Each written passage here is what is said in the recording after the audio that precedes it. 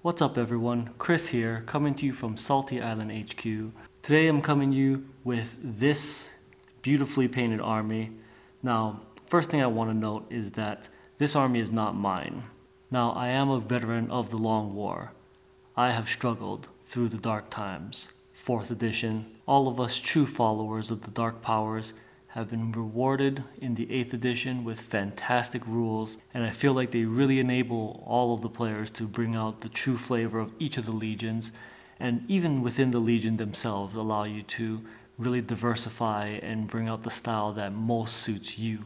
Like I said, this isn't my army, and I myself am blessed that I have roommates that all hobby as well, which one gives me the ability to play a lot of games against people even during the quarantine and two, it allows me to show off lots of different models that I myself would never get around to painting.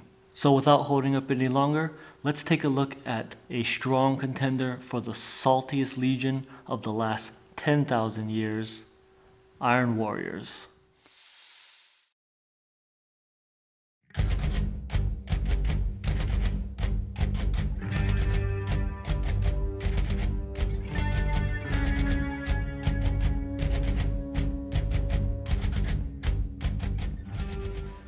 Now, a couple of things about this army. Like I said, one, this isn't mine. But the other thing that's important to note about it is this army is not actually everything that the owner has for this army. This is just everything that is currently painted for this army. There's obviously a few key gotta have models. Look at your Daemon Prince. There's probably gonna be some Havoc squads. I mean, it is an Iron Warriors army.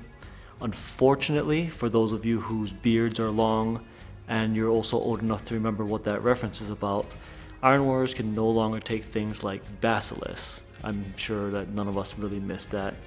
But what they can take still is tons and tons of obliterators.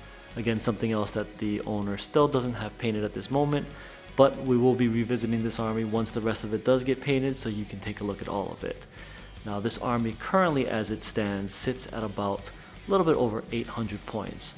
Again, this is how I would configure them and also assuming that we're going with WYSIWYG, what you see is what you get. So let's go ahead and take a closer dive in and take a look at each of the units. First up, we've got the troop choices. Now, as everyone knows, Chaos Marines get a little bit more flexibility. You can do some really fun things with them. And in particular, this unit here is rocking the Mark III armor. So showing its true age as veterans of the Long War, on the left, we've got two plasma guns. One of the nice things about the Chaos Legions is you can sneak in that second plasma special weapon. And then the Aspiring Champions got the plasma pistol and power fist combo. Pretty classic, pretty standard. One of the other things that you can do with the Legions is you can combine your two 10 mans, you can go one 20 man squad if you wanted to, kind of harkening back to the days of the 30K and the Great Crusade and the Horus Heresy itself. But right now I've got it split up here and the reason is is this second squad is rocking bolt pistol, chain swords, two melta guns, and the aspiring champion has the power fist and a combi melta combo going on on that one. Again with the Mark III armor, really showing off the lore behind this army really nicely done.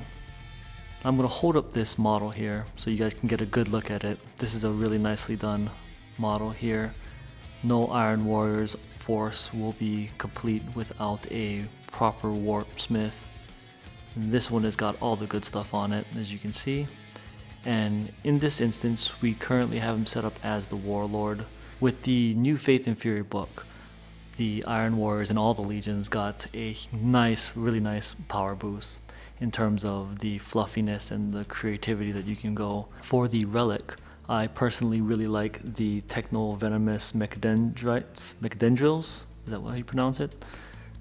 Uh, very fluffy and also very powerful, basically giving you four attacks that if you just hit, immediately deal a mortal wound. No roll to wound necessary, no toughness is going to stop it, doesn't even matter. Um, with that said, I believe they have the Axe of the Forge Master, which is a pretty solid contender in my opinion.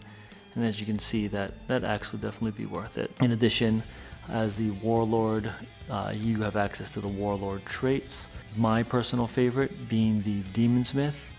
which I think you'll be able to see why with the rest of the army that we're going to be showing in a little bit. Honestly, Stoic Advance has a very strong argument can be made for that one as well. Now, for those of you veterans of the Long War, you will all know that no Iron Warrior army is complete without maxing out your heavy support choices. And in fact, way back in the day, Iron Warriors could take more heavy support choices than anyone else. It was, it was pretty unfair. You're on my side, but you're still cheating quite a bit. Pretty much everyone can do it these days, and so there's no reason not to. First, we got a pair of Mauler Fiends. These are fantastic models. I'm gonna go ahead and bring it up here so you can take a look at each one a little closer.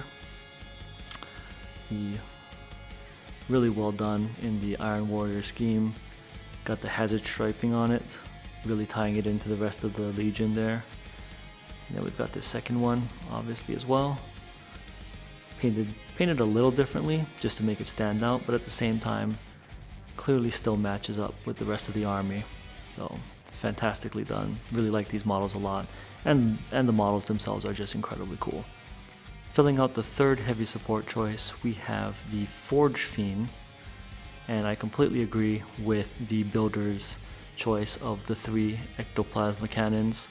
Fantastic weapons, and if you remember with the Warlord trait, basically allows them to reroll ones on the wound, which is actually really nice and not super easy to come by on Chaos without having to spend that command point. So, so really nice being able to get the reroll ones on this model. And obviously you should never go anywhere without your trusty metal box. Always good for blocking line of sight, hiding 10 marines in it, getting them up the field, driving this into someone's face to just annoy them.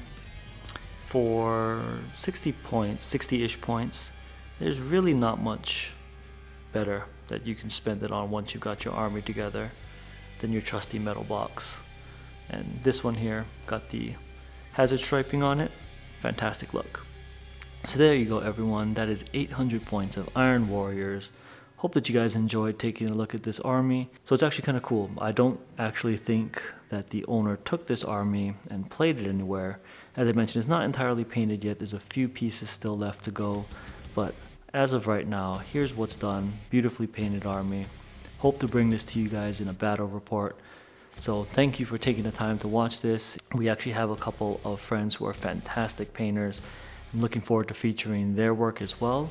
So if you like this, let me know in the comments down below that you'd like to see more content like this. And in fact, if you are in the Las Vegas Henderson area and you'd actually like to let us show off your army for you, definitely hit me up with the email down below. Be more than happy to have you over so we can get some cool shots of your army, represent the community. Thank you all for taking the time. Until next time, iron within, iron without.